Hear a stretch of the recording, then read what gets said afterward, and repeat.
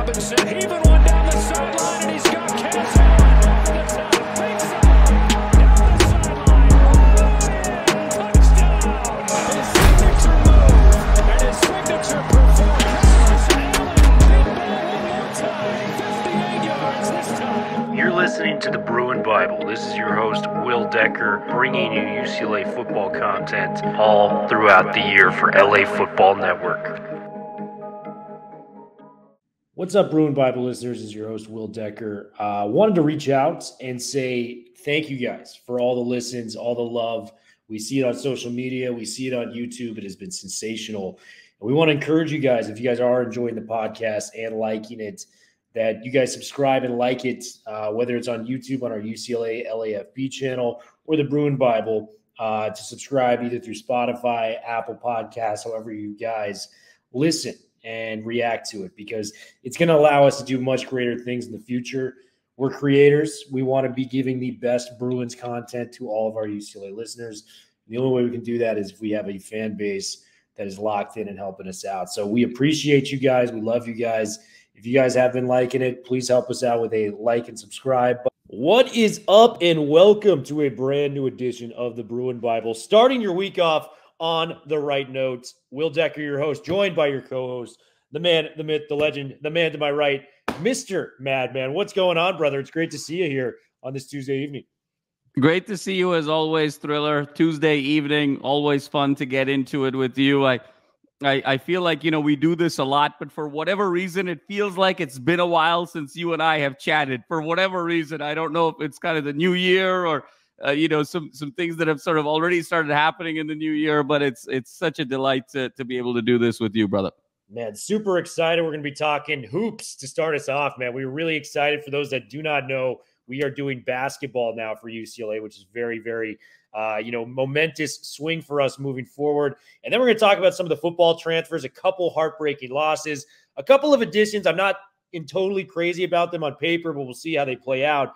But before we get into that, man, we got to go to our two sponsors for today. Bet online. This is where the gaming starts. Make sure you use code LAFB on Bet Online. And how about Underdog Fantasy, man? Underdog Fantasy. You use the promo code UCLA LAFB. You guys get a match for how much you guys get to use in terms of gambling, praise, placing prop bets, the whole nine yards, up to $500. I'm going to give you my pick of the week, man. I got Domantas Sabonis going lower than 46 and a half points, rebounds, and assists. Desmond Bane on the lower of seven assists. I feel like that one's a lock. He's more of a shooter. And then Isaiah Livers lower than three and a half rebounds. That is my parlay for the NBA for underdog fantasy. Make sure you use that code UCLA LAFB. Well, Madman, we uh we have been kind of struggling on the basketball court, to put it lightly, man. It's been a rough go. That might be the understatement of the year, Will. Struggling is an understatement. We just lost to a team that went 3 and 29 last year in the Cal Bears, 66 to 57. They started the game off on a 9 0 run. Um, we got ourselves back into the game. You know, we made some plays, but it just seems like Cal made timely three after timely three in the second half to really put us there. And, you know, the, the struggles aren't new, man. I mean, Cal shot 40% from three, a, a number they probably did not even hit last year at any given time. And we shot 20% as a team when it came down to it. We got out rebounded 39 to 26 on the glass. You know, the look the look for a point guard out there, someone to set up the offense and get it rolling, just is not there at all. There's no semblance of any offense out there on the floor, the hardwood for the Bruins. Just a lot of struggles going on there, man. Give me your takes on what we've seen thus far and how much it's been just a, a struggle for UCLA as we start this year. Yeah, well, it's such a great point. I mean, it's been a slog. I mean, there's just really no better way to put uh, put it than that. I think Mick Cronin kind of said it best: is that you know in the in the NBA and in college basketball and in just you know high level basketball, you have to score. You know, even even in the in the NFL and in college football, if you have a great defense, look, we saw what Michigan was able to do last night with a great defense. You don't always have to be prolific on offense. You just sort of have to do enough if you've got great defense to be able to win. Basketball is a different sport in that regard, where you can be a dominant defensive team, but you still have to be able to score in a multitude of ways and in different circumstances because the game has ebbs and flows and has runs. And that's just very unique to that sport. And when you look at UCLA right now, I think there's kind of three elements here, Will, that continue to rear their ugly head game after game. And now, you know, we're staring at a six and nine season here, one in three in in, in sort of conference play to start. Thriller, we, we sort of joked, you know, just to bring some levity here 29 game home winning streak. Uh, you and I then decide to branch out into basketball instead of football. And we've been gifted the Christmas gift, the New Year's gift with four consecutive home losses and Wow. losing seven out of eight. So it's it's been sort of a rough transition here to begin. But number one, first and foremost, Will, you said it the lack of a point guard, the lack of a floor general to be able to set the offense and give it an identity has just been missing all season. When you look at kind of this this construction of this roster, particularly in the backcourt, only one player will is averaging more than two assists a game on this roster, and that's Dylan Andrews at 3.6. But then when you couple that with Andrews' struggles shooting the ball, 36% from the field, 25% from three, it's really hard to set up an offense the right way. It just seems like the two kind of go to plays for UCLA are kind of force feeding Bona and Berke at the beginning of games to kind of establish some rhythm. And then when challenges arise and you need a bucket, it's kind of, hey, give the ball to Sebastian Mack and just let him try and go create something. Let him throw his body in the paint and try and get some tough layups, some tough and ones, get to the free throw line. But that's just not a recipe for consistent success moving forward. So the lack of a floor general has just kind of created such instability and flow in the offense that it's really evident. Number two, Will, and a related point is the lack of shooting. I mean, we've talked so much about, you know, mentioning Andrews' statistics, Stefanovic's struggles uh, shooting the ball. McClendon started strong, but, you know, has tapered off a bit. And then Sebastian Mack is more kind of a slasher than he is a shooter. And when you just have a lack of shooting, the challenge there becomes teams are just going to continue to pack it in. They're going to play zone, they're going to pack in the paint, they're going to clog the middle, make life difficult from a spacing standpoint for the likes of the Adem Bonas and the Berkes, and sort of dare these backcourt folks to be able to shoot the ball and knock the ball down consistently from the outside. And they just haven't been able to do it.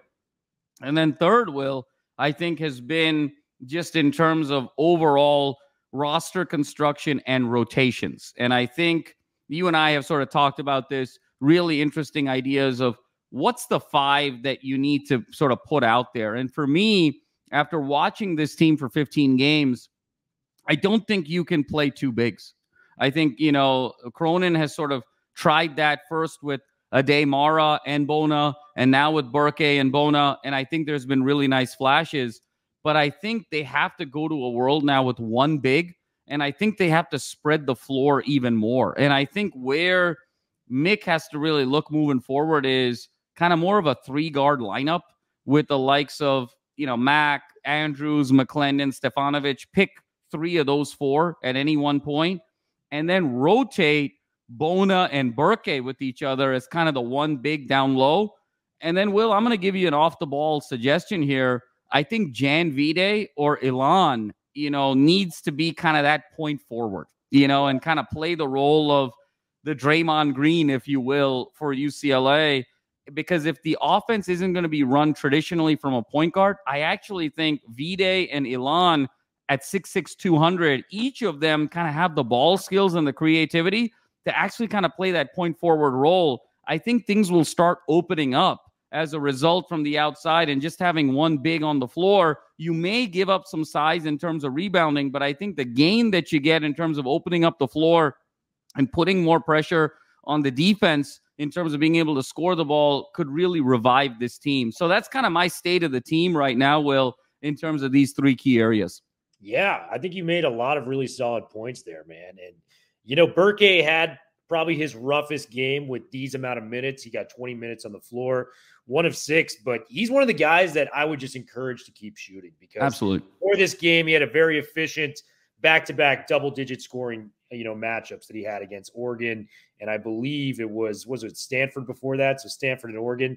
So he was playing very well. He struggled this past game. He's one of six from the floor. And the guy that I just can't get out of my head, Stefanovic, has been struggling so much. He actually made his only attempt from three.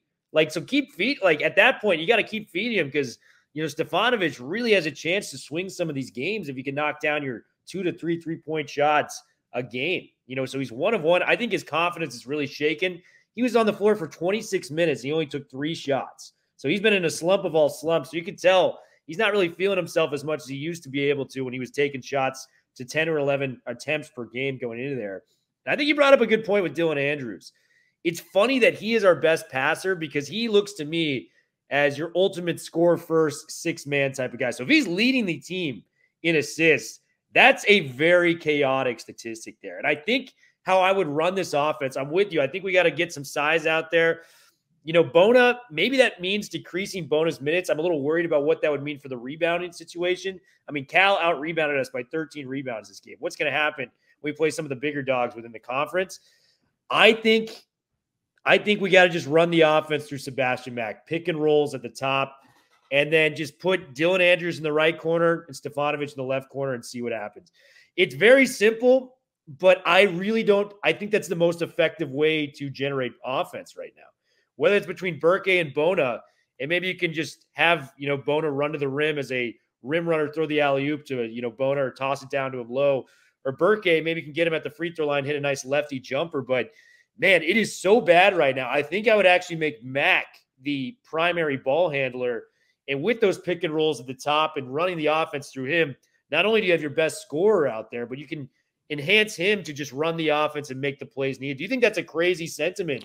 No, Will. I mean, I think it's it's a very interesting blueprint and one that has a tremendous amount of, of logic and sense. Essentially, what you're describing is you want UCLA to become the 2017 2018 Houston Rockets, right? Exactly. Where, where Sebastian Mack is James, James Harden. Harden. You know, you got him as your primary playmaker at the top of the key.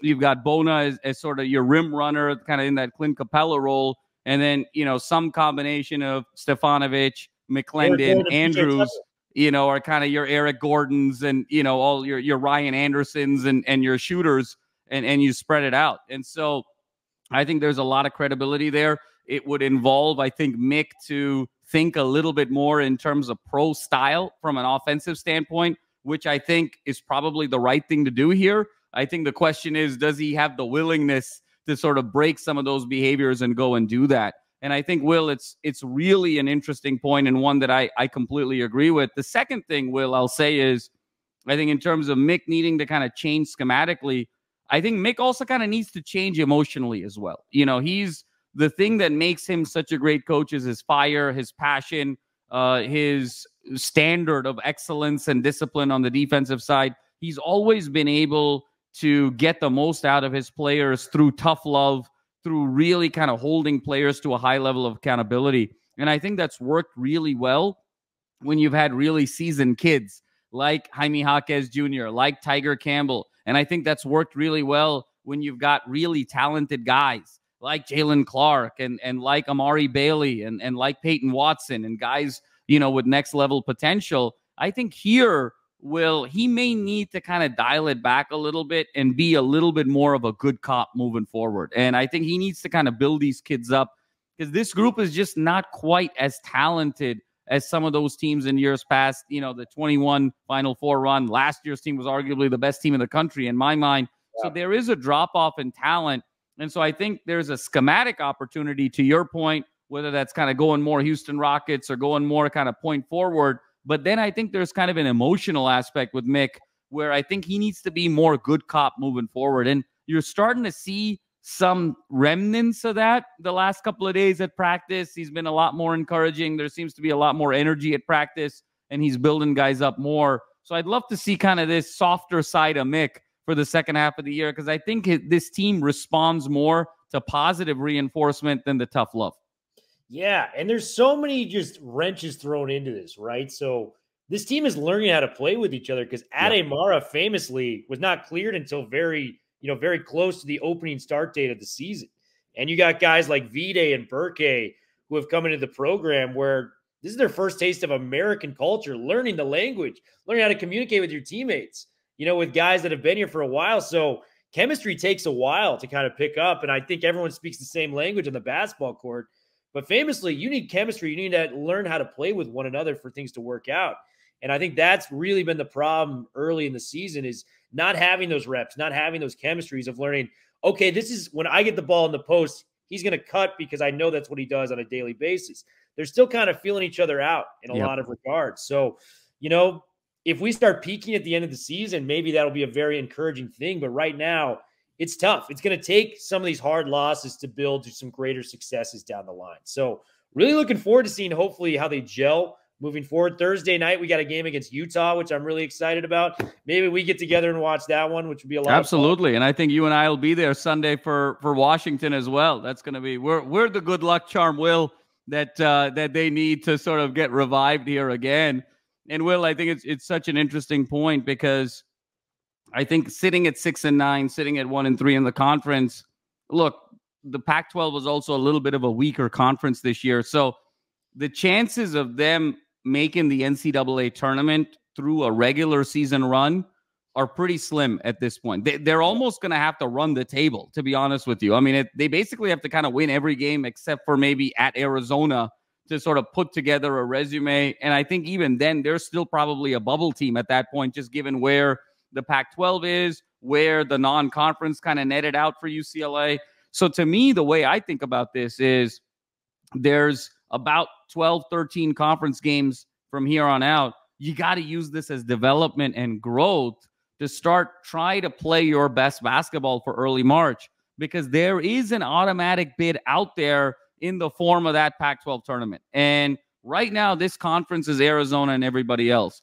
And there's very much of a world where we've seen it every year where when there's a team that's kind of locked up a one seed in the regular season and they know they've got that NCAA tournament in a couple of days that are starting, they don't always sort of bring that that that fastball, that A plus game in that conference tournament. And that could very well be the case here this year. And so there's an automatic bid to be had if you can go go on a three or four game run there against, you know, no one else in the Pac-12 outside of Arizona is ranked in the top 25 right now. So if UCLA still uses these next 12, 13 games as a development opportunity and then really plays their best basketball in that Pac 12 tournament, there's still an opportunity to make an NCAA tournament berth, which I think would be a tremendous success for Mick, given all of the challenges this year, the roster construction, and so forth. So I think that's how we need to be thinking about this season in phases.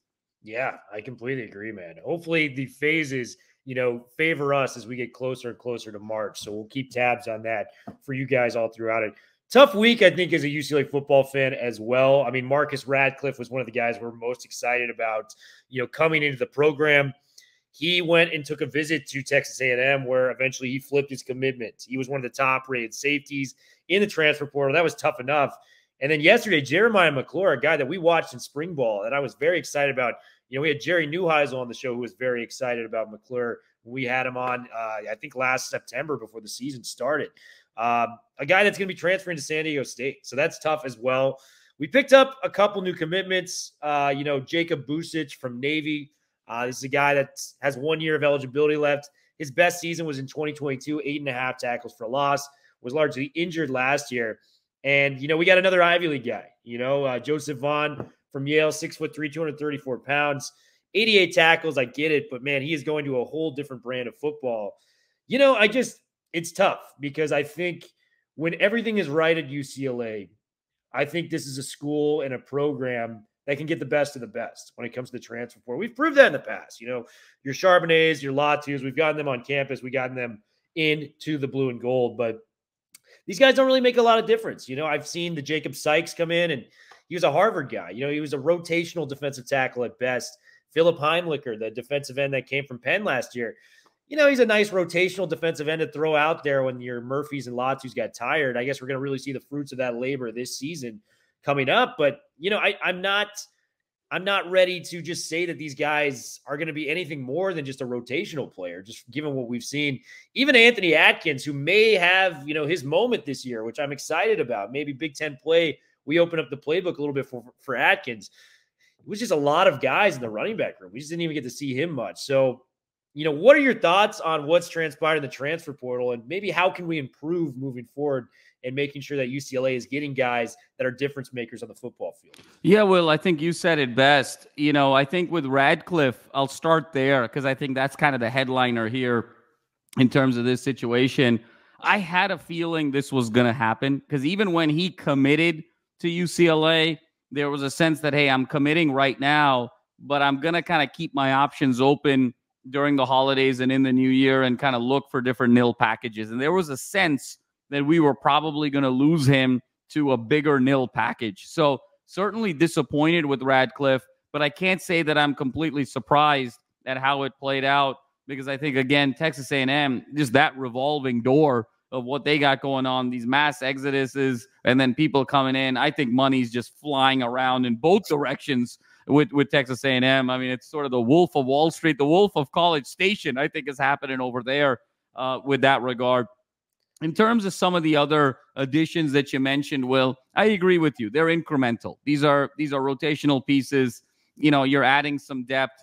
At the end of the day, this sort of sounds more like an academic All-American list. You know, the list of the next U.S. senators. You know, in terms of universities like Yale and Harvard and UPenn and Navy and Elon and you know some of these schools, rather than you know folks that are going to come in and make a huge impact in terms of on the field production moving forward. I think that, you know, UCLA sort of picked their spots a little bit. I think, again, not to, you know, sort of beat the dead horse here. I think NIL just continues to play a bigger and bigger role in terms of talent acquisition, Will. And I think to your point, when UCLA kind of has it right, there's no better school in America that can offer the complete package. But I think you know, we're still catching up in the NIL game. And I think that's pretty evident both on the football side as well as on the basketball side with some of the things that Mick has been saying the last couple of weeks. So I think there's been a couple of rotational pieces here. I'm looking for this team, you know, with the new coaching staff to go get another Achiempong, you know, and if they can kind of fortify another one or two kind of key pass rushers to sort of be able to really then feel like, hey, we've not reloaded because it's so hard to sort of replace a Latu and a Murphy twins, but we're in a credible position where those guys now, those slots are accounted for with really credible players. And then combine that with another one or two very strong offensive line prospects. I think that's where UCLA kind of needs to focus. Two guys on the defensive line, two guys on the offensive line, and then be able to kind of round out the rest uh, given what's going to happen in the spring. Because for all those challenges, Will, I think we're seeing the importance of the trenches now more than ever. I think last night's game with, with Yeah. Michigan and Washington kind of showed you can have the flashiest of offenses and you know the most decorated quarterbacks and wide receiver trio but this game is still won or lost in the trenches with great blocking with great tackling and with great toughness and so i think ucla's got to really focus there uh, in terms of offensive and defensive line to get ready for the big ten because truthfully will on the skill position side whether you're talking about garbers or you're talking about harden or you're talking about hopefully Sturdivant comes back with ford with flores you know there's guys there that can make plays when you talk about kind of the back end, you still have Addison. You've still got guys on sort of the back end of the secondary. It really needs to be kind of a fortification on, on the offensive and defensive lines. Yeah, Davis and Kirkwood are uh, Jalen Davies and Kirkwood are likely coming back. But let me ask you this: I have this question. We did the college football playoff preview game, and Washington's offensive line was spectacular all year. Yep. I think they just went against a beast that was Michigan's. But what I noticed was how much time Michigan had in the pocket and how open those running lanes were for guys. You know, the Donovan Edwards, Blake Corum. They had won the previous two Joe Moore awards. Do you think it was like voter fatigue? Because we talk about basketball all the time. LeBron should have a couple more MVPs. Kobe Bryant famously should have a couple more MVPs in his case. You know, Giannis, uh, Jokic, whoever you want to bring up. It seems like they get tired of the narrative and they vote elsewhere. I think it was very much that way because to me, the best offensive line I saw last night, and granted, Washington's D line isn't Michigan, but they have a couple future pros on there too, in Bralen Trice and uh, T- ZTP. Yes. You know, you think Michigan's offensive line was truly the best offensive line in that game? Absolutely. And I think it's always, Will, there's something about human nature where that third consecutive year, that voter fatigue kind of sets in. You know, you mentioned for the Shaqs and the Kobe's, you know, it was, sometimes it was the second year. But even Jordan famously never won three straight MVPs. LeBron never won three straight MVPs, if you recall. There's something about human nature where it's like, okay, you know, we give you the two, we got to go in a different direction here. And it really felt that way last night, Will. I, I thought the offensive line of Michigan really dominated that game. I mean, when you look at the holes that Donovan Edwards had in the first part of that game. I mean, anyone could have gone through those holes. Those are sort of a straight line and a run.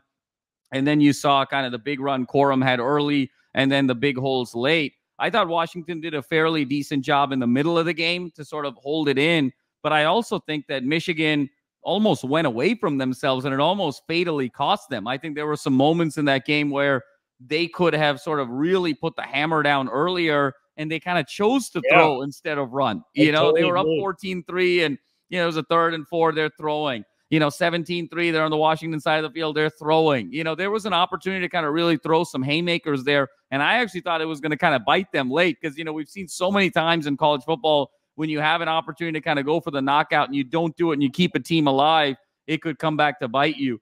But fortunately, in, in Michigan's case, that was certainly not. But you could see it on the offensive line and then Will on the defensive line. I mean, we Yeah, have not seen Michael Penix Jr. just be that unnerved, you know, and sometimes that unnerving comes together. It doesn't always have to translate into sacks or tackles for loss because Michigan had a pretty modest day in terms of sacks as well as tackles for loss, but just the pressure, the the pocket closing, kind of the relentless pressure that was coming, you could just see how unnerved Michael Penix Jr. was. He missed reads that he normally makes, he missed throws that he normally makes, and it was just really a function of never being comfortable both in the pocket as well as with some really exceptional secondary play. So in this world of you know these decorated offenses and Kalen DeBoer and Steve Sarkisian and the Lincoln Rileys and all of uh, you know these offensive juggernauts, it shows. Look who's been winning the championships the last few years: Michigan, hard-nosed Georgia the last couple years with great trenches play, the Alabama teams with great trenches play. And so it's really showing that even as we're becoming more offensive minded from a fan standpoint, from an analyst standpoint, from a media standpoint, the game of football hasn't changed. It's one on the offensive and defensive line. Yeah, man. It's always one through the trenches. And Washington, as I'm getting it from you, was the 98 Karl Malone to Michigan's Michael Jordan. Woo! Oh, they, that's there an elite go. reference there. You know, yeah, man. As as as Mike would say, it's like okay, you know, you, you gave him you gave him the MVP, fine, but I'm going to take this, you know, and so in uh, that box, by the way, of Michael Jordan, Derek Jeter, Travis Scott, and somehow Stephen A. yeah, Stephen A. and Stephen A. uh, Stephen A. Smith with his with his like Letterman's jacket was acting like the biggest celebrity there. Oh, I thought no, that was he hilarious. You know, he annoys me with that stuff. I, I think he's necessary for sports media. I think he's great at his job. I really do. But when he kind of bigs it up like that, I mean, I the famous one that I was, you know, laughing hysterically at was he was blaming Michael Rubin for not getting invited to that white party. yeah, yeah. Like, you think these athletes want to see you when they're party? Like, they do not, man. You're just going to criticize them at the end of the day. So, like, and and by the way, you're not even in that class. So just like enjoy being the biggest sports talking head there is. Outside of that, man, there's not much there for you. Love Stephen A. Love this podcast, guys. Make sure you're tuning in. We'll have another one for you by the end of the week and be on ESPN Radio on Friday. So stay tuned. We will be touch uh, in touch very, very soon. Take it easy.